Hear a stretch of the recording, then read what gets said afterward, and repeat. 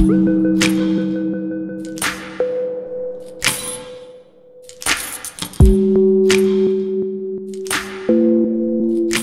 Llevamos desde mediados de noviembre muy activos con esta campaña en la plataforma Goteo, un tren en el jardín.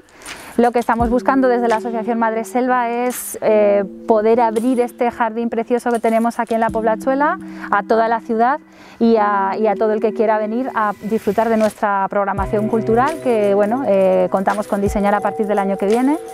Como dijo Emily Dickinson, para viajar lejos no hay mejor nave que un libro. Entonces hemos querido llenar, eh, llenar el vagón de libros y darle una segunda vida, viajar con la imaginación y a la vez pues, recuperar, recuperar esta, esta maravilla que es una obra de arte.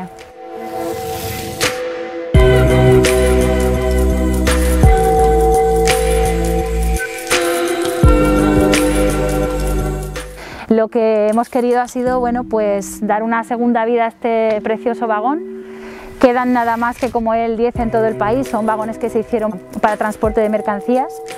Y bueno, pues estaba abandonado igual que tantas otras cosas que, desechamos. Hemos querido darle una segunda vida, darle un segundo uso, reutilizarlo, transformarlo para que se convierta en un contenedor de cultura que esté lleno de libros, los libros que van a formar parte de la biblioteca del grupo de juegos de la Asociación Madre Selva pero luego además lo que hemos querido es, además de esa, parte de, lectura,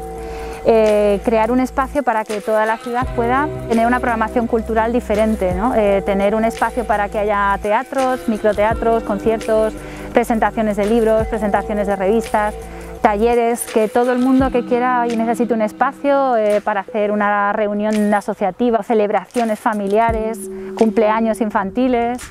ese tipo de, ese tipo de cosas que necesiten, que requieran de un espacio para que los pequeños eh, estén al aire libre y tengan un contacto con la naturaleza que a lo mejor de otra manera no, no se puede, ni los padres ni las familias pueden hacer sus talleres o sus actividades, ni los niños están disfrutando de la naturaleza. Aunar todo eso y llenar, llenar el vagón de vida.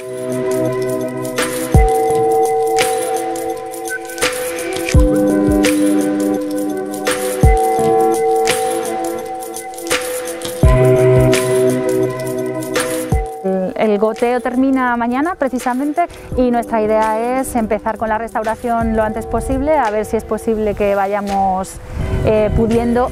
abrir y hacer alguna cosita